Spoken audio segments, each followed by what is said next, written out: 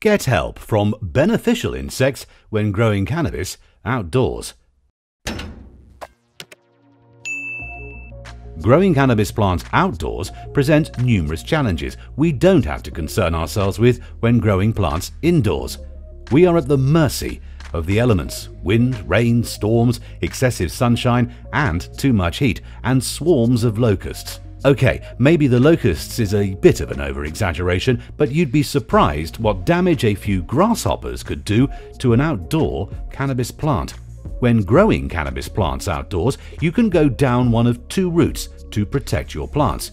You can go down the all chemical route with harsh pesticides that will kill just about anything that moves, from butterflies to worms and everything in between.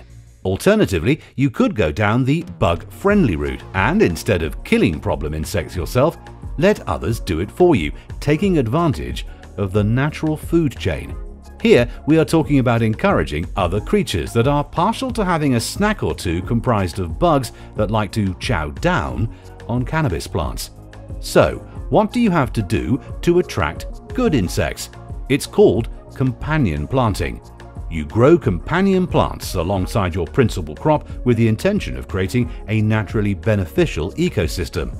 The next question you want answering is What are bad insects? What do I need to guard against? These include caterpillars, grasshoppers, greenflies, aphids, fungus gnats, thrips, spider mites, and whiteflies.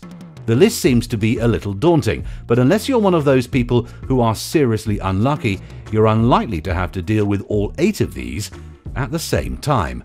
So, what about insects and creepy crawlies I do want to attract? Green lacewings are great. In larval form, they'll munch their way through aphids, spider mites, thrips, whiteflies, and leafhoppers. Fortunately, when adults, they don't have a penchant for cannabis plant leaves, but prefer pollen, nectar, and honey. Dill, caraway, fennel, and coriander are great plants for attracting lacewings and will prove useful in the kitchen as well. Ladybugs, or ladybirds, depending on what you prefer to call them, love nothing more than to feast on moths, beetles, mites, and thrips. Unfortunately, they can fly, so you need to attract them and keep them. Create a small pond and plant cilantro, chives, calendula, marigold, dill, and yarrow, which should also attract assassin bugs that will help control pests. Unlike spider mites and other destructive mites, predatory mites are beneficial to your plants as they live off other pesky mites. You can attract them by growing mint, though keep the mint in separate pots or grow it around the border of your plantation as it can spread rapidly. You can also buy live predatory mites as you can green lacewings and ladybugs. You see, not all bugs are bad for you or your cannabis plants. We'd love to know what your experiences are dealing with insects, good and bad. Let us know in the comments section below.